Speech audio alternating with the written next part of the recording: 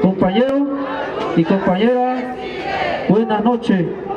Primero que nada, darle las gracias a todas las organizaciones que han estado con nosotros desde el 26 de septiembre de 2014 y a cada uno de ustedes por andar desde ese día caminando con nosotros.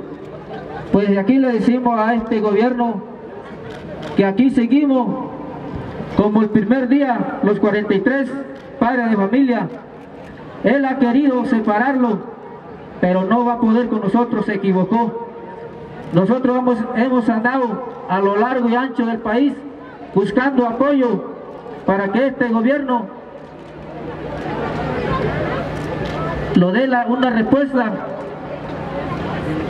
porque la verdad viene puras mentiras y desde aquí le decimos que jamás vamos a dejar de luchar y por eso los invitamos para que sigan con nosotros porque nosotros no vamos a dejar hasta saber la verdad y que se castigue este gobierno y que los presente a los 43 estudiantes.